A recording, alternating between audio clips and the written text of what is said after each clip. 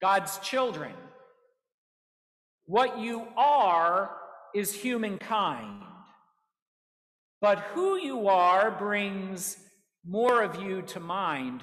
And likewise, what God is, is one. But who God is, is much more fun as Father, Son, and Spirit bless and bind you all with grace, mercy, and peace. Amen. Does wisdom not call out? Does understanding not raise her voice?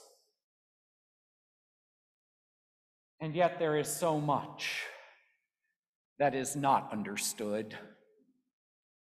As Christian people, we do make certain firm claims when it comes to our God.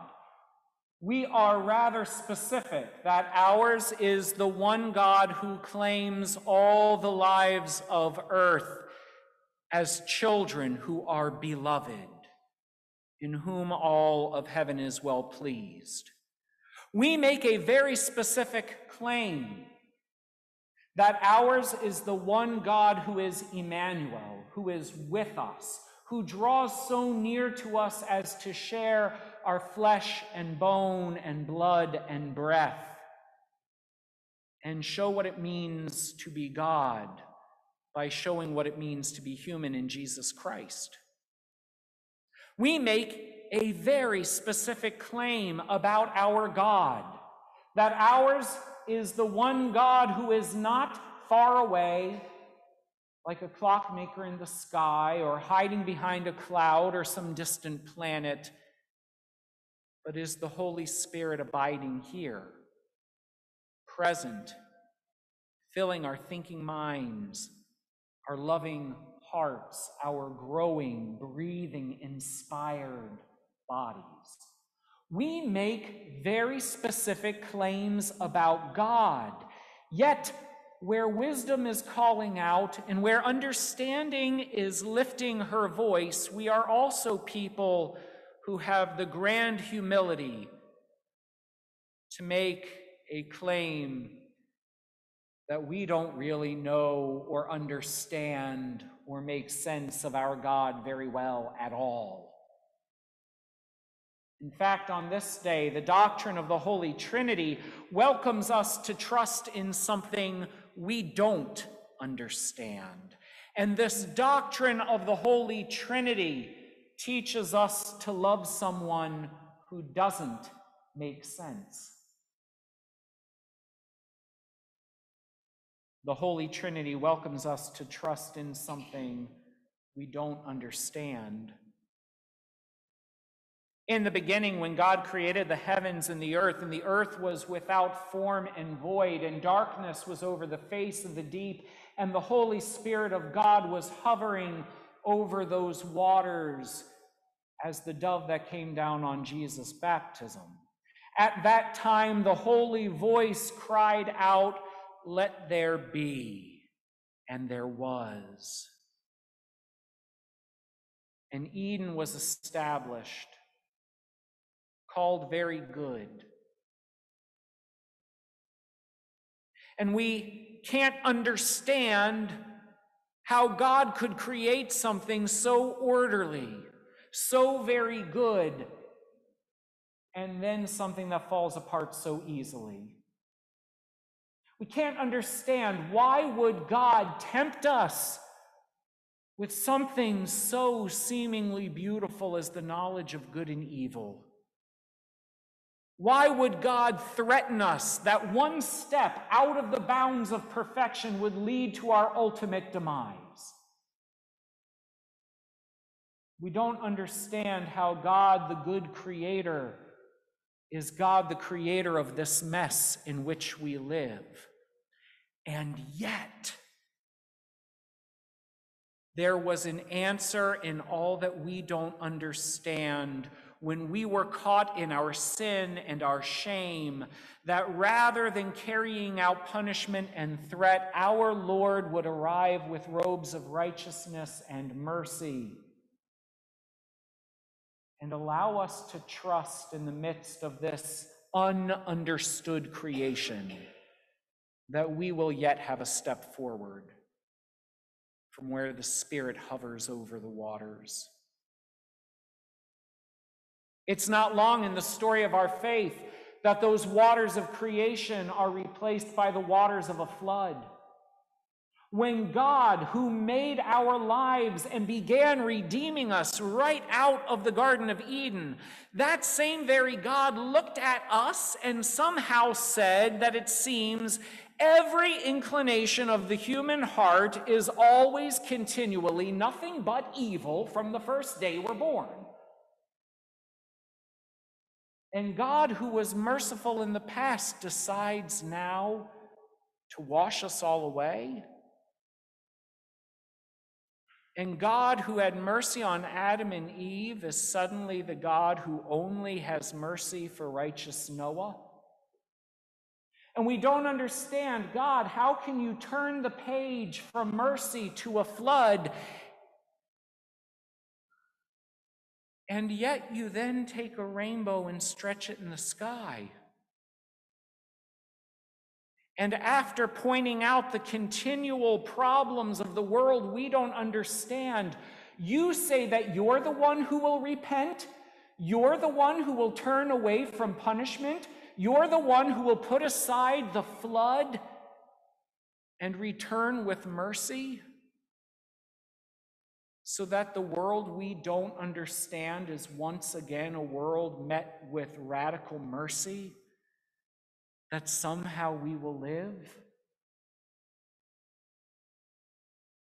This is the God who hovered over those waters of creation, who put away those raging flood waters after Noah, who found us down in the mud found us where no one liked us, where no one loved us, where they only took what they could get from us.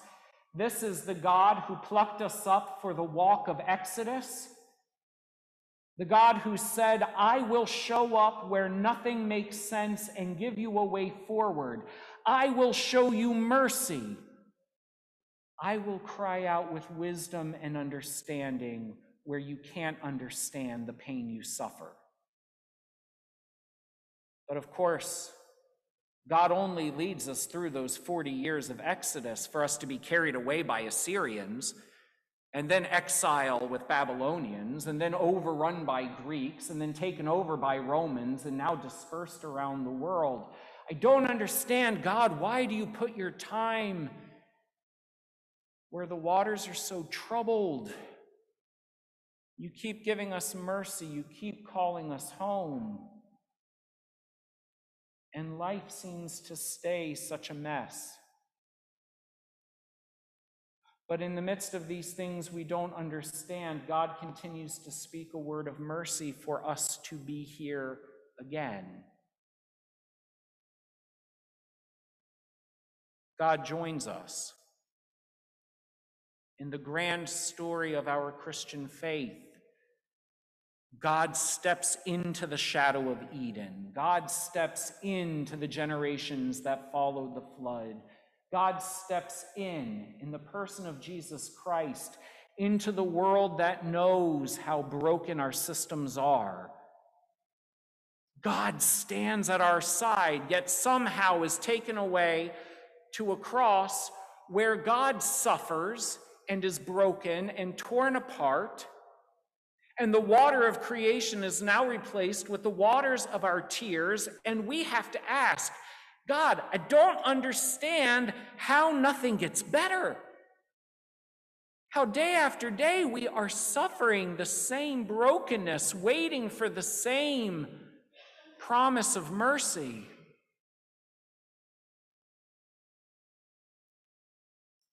The Holy Trinity welcomes us to trust in something we don't understand. When the Spirit of life comes into the body of Christ our Lord, who stands with us again, children of the Heavenly Father, we may not understand this world in which we live. We may not understand this God. But we trust that mercy keeps coming mercy that met us in the beginning of time, mercy that lifted us from our floodwaters of baptism, mercy that keeps calling us back from the exiles and oppressions we do not understand, mercy that keeps rolling away the stone and rolling away our tears. For us to be people of hope and the Spirit's inspiration in the midst of all we do not understand. And then in that moment, the Holy Spirit teaches us from that mercy to love someone who doesn't make sense. Because it's hard to make all of those stories of the Bible add up into logic as we like logic. It is hard to take those steps of a pilgrim past and see where they fit in our days now and the future to which we're going. It's hard to see how a God who has never been sensical is still a God who senses our need. Yet the one thread of mercy that we have been receiving throughout all of our faith is the unity we find in a Father and a Son and a Holy Spirit, fundamentally defined as love. That in the midst of all wisdom would cry out for us to be people of love, who sit as children on God's lap, rejoicing in this created world and in the lives we may not understand on the siblings and sisters and brothers around us, but finding that love of God that binds all of us in one as much as Father, Son, and Spirit are unified. The Holy Trinity welcomes us to trust in something we don't understand. The Holy Trinity teaches us to love someone who doesn't make sense. Looking even in the mirror, we find the Holy Trinity's love for the people we are. Amen.